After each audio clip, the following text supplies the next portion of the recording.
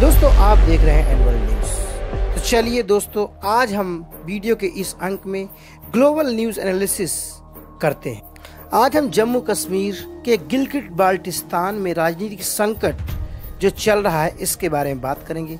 साथ ही पाकिस्तान और इंडिया में इस समय फ्लड की सिचुएशन कई जगह बनी हुई है, इसके बारे में भी बात करेंगे। तो दोस्तों, आइए चलते हैं न्यूज़ की ओर।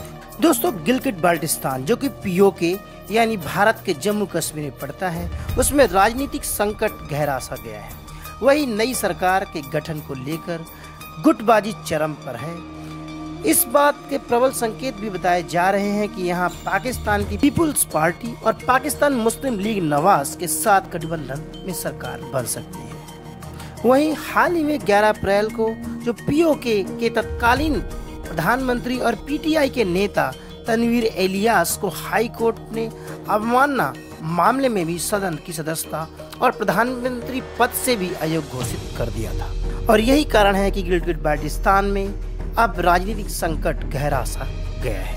वहीं दोस्तों, इन दिनों यानी जुलाई के फ़र्स्ट वीक में ही भारत और पाकिस्तान समेत इस पूरे रीजन में ही भारी मानसून यानी मानसूनी बारिश हो रही है, जिससे भारत के हिमालयन क्षेत्र में स्पेशली नॉर्थ वेस्ट हिमालय में स्पेशली हिमाचल प्रदेश, वहीं उत्तराखंड में भारी बारिश के कारण जीवन अस्त व्यस्त है। साथ ही दिल्ली में भी भारी बारिश हुई। वहीं पाकिस्तान में भी भारी बारिश के कारण तबाही सी मची है।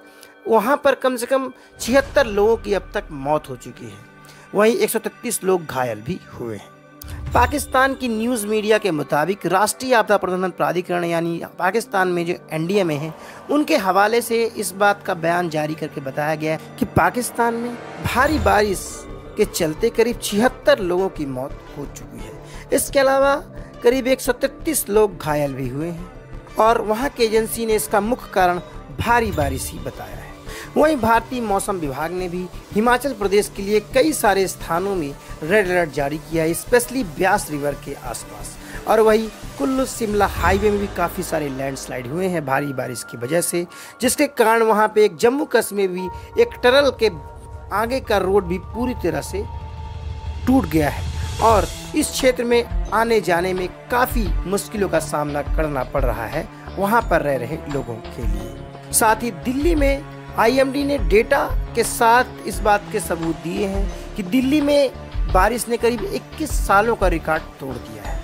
वहीं सात और आठ, वही नौ जुलाई को भी लगातार बारिश होती रही है और बारिश ने भारी तबाही मचाई है, जिसके कारण स्पेशली जो लोकल ट्रांसपोर्ट है, पूरी तरह से रुक गया है। नमस्कार।